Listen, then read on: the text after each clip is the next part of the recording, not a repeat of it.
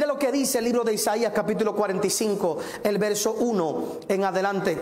Dice, así dice Jehová a su ungido, a Ciro, al cual tomé yo por su mano derecha para sujetar naciones delante de él y desatar lomos de reyes, para abrir delante de él puertas y las puertas no se cerrarán. Yo iré delante de ti y enderezaré los lugares torcidos, quebrantaré puertas de bronce y cerrojos de hierro haré pedazos. Y te daré los tesoros escondidos y los secretos muy guardados para que sepas que yo soy Jehová, el Dios de Israel, que te pongo nombre. Fíjate la palabra que Dios le da a Ciro. Para que usted entienda el contexto, Ciro no era un rey del pueblo de Dios, no era un hombre cristiano. Y Dios lo llama judío. Y uso la palabra cristiano, aunque en aquellos tiempos todavía no habían cristianos. En realidad no era un hombre del pueblo de Dios.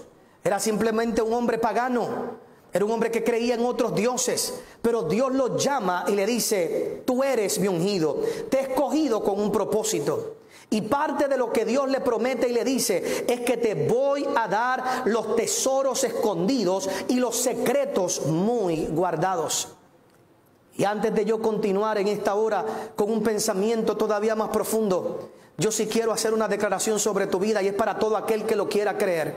Vamos a creer que viene una temporada donde tú vas a descubrir tesoros escondidos, donde literalmente Dios te va a dar ideas y te va a dar recursos que estaban guardados y escondidos para que tú llegaras al lugar correcto y los encontraras, para que Dios te diera ideas y pensamientos y secretos que nadie ha podido ver todavía. La Biblia dice que cosas que ojo no vio ni oído oyó son las que Dios tiene reservadas para sus hijos. ¿Por qué tú no le puedes creer a Dios que Dios te puede dar una idea milagrosa, que Dios puede darte un secreto, que Dios puede darte un tesoro, algo que parecía que estaba perdido, algo que tú ni te dabas cuenta y ahí podrás encontrar, avanzar en tu vida. Te estoy hablando no espiritual, te estoy hablando en tu vida económica. Hay gente que dirá, pastor, pero es que ese mensaje lo que habla es de cosas espirituales. Podrá hablar de cosas espirituales como yo te las voy a hablar en un momento, pero oye bien, históricamente hablando, cuando usted busca los libros de historia, cuando usted va y busca el tiempo de Ciro, históricamente hablando, los récords históricos dicen que Ciro encontró literalmente tesoros que estaban escondidos, porque el pueblo de Israel cada vez que huía, cada vez que el enemigo venía, escondía las cosas debajo de la tierra, la escondían en cuevas porque tenían miedo. Y esas, esos tesoros estaban ahí guardados, estaban escondidos. Y literalmente, históricamente se sabe que cuando Ciro comenzó a abrir las puertas y comenzó a darle el espacio al pueblo de Dios en aquel momento comenzaron a aparecer riquezas que estaban ocultas. Literalmente hablando, Dios le dio la unción para descubrir aquello que parecía perdido y se pudiera recuperar. Y yo lo primero que quiero creerle a Dios contigo para esta nueva temporada es que tú y yo vamos a descubrir aquellas cosas que están secretas y han estado guardadas a través de los tiempos para ti, para mí y que serán producto y traerán resultados económicos para tu vida. Tiene que venir un tiempo de gloria económica para la iglesia si es que queremos ver la iglesia gloriosa en el nombre poderoso de Jesús. Tienes que perderle miedo a ese mensaje, tienes que perderle miedo a esa idea, porque mientras nosotros tenemos miedo a lo que el mundo piense así, el mundo sigue avanzando, el mundo sigue creciendo, el mundo sigue prosperando seguimos escondidos. Créele a Dios que llegó tu momento de prosperar, de avanzar económicamente y que los tesoros escondidos los vas a encontrar en el nombre de Jesús. Y hoy yo voy a creer eso contigo. Una idea Dios te va a dar. Algo vas a descubrir.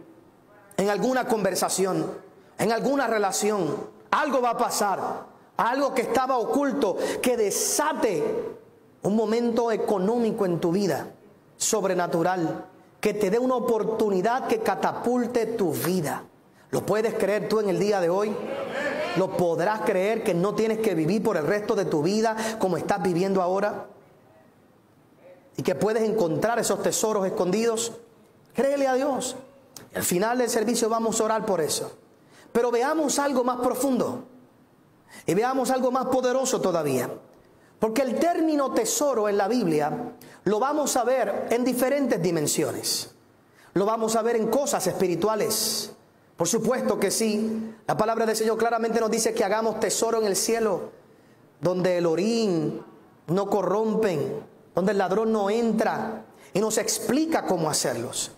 Nos habla de tesoros como estos, nos habla de oro, de riquezas que se encuentran, nos hablan de abundancia que se puede encontrar y que Dios le entrega al pueblo de Dios a través de toda la historia. Eso lo vemos una y otra vez. Pero cuando miramos el término tesoro de forma más profunda, tenemos que saber que el tesoro más grande que ha estado enterrando en la tierra a través de la historia somos tú y yo.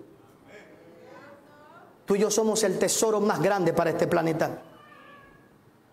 Y mientras el hombre ha estado buscando grandes riquezas naturales, Dios siempre ha estado dispuesto a darlo todo para encontrarte y a ti y a mí.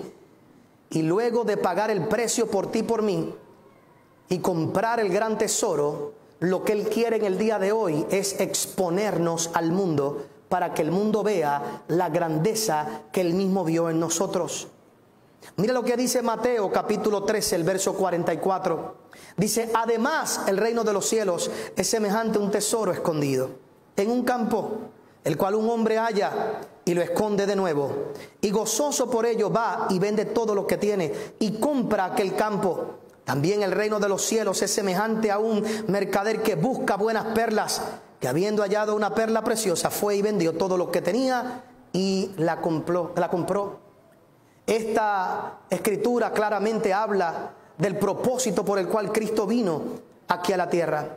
Esta parábola nos habla de su intención. Él vio un tesoro en cada uno de nosotros. Y cuando él vio ese tesoro lo escondió en la tierra. Y vino y pagó el precio por el campo completo. Él entregó su vida por ti y por mí. Y pagó el precio por la tierra para sacarte a ti del lugar donde tú estabas escondido. Tú y yo hemos estado escondidos en esta tierra a través de los tiempos. Y cuando Cristo vio la grandeza que hay en tu vida, dejó todo lo que Él era, se hizo hombre, murió por nosotros en la cruz del Calvario, pagó el precio para comprar la tierra, pero no porque le interesaba la tierra, sino el tesoro que estaba en ella. Ahora nadie busca un tesoro para esconderlo toda la vida. Se compra la tierra para encontrar el tesoro, hacerse dueño del tesoro, para luego poderlo exponer. Tú y yo somos ese tesoro que está escondido. Y no es opción para este tiempo estar escondido nunca más. Si la gente va a conocer de Jesús y van a ver la gloria de Dios, va a ser a través de nosotros. En el libro de Juan capítulo 12, el verso 9, dice la Biblia, gran multitud de los judíos supieron entonces que Él estaba allí y vinieron no solamente por causa de Jesús, sino también para ver a Lázaro, a quien había resucitado de los muertos. Pero los principales sacerdotes acordaron dar muerte también a Lázaro, porque a causa de él muchos de los judíos se apartaban y creían en Jesús. Mientras Lázaro era amigo de Jesús, nunca presentó una amenaza para el mundo. Mientras Lázaro estaba al lado de Jesús, la gente simplemente lo veía como otro amigo. Jesús fue a la casa de Lázaro probablemente múltiples veces y nunca tuvieron grandes problemas con él. Pero un día Lázaro muere. Un día Lázaro cae en una tumba y un día Jesús se para frente a aquella tumba y le dice, sal fuera, sal fuera.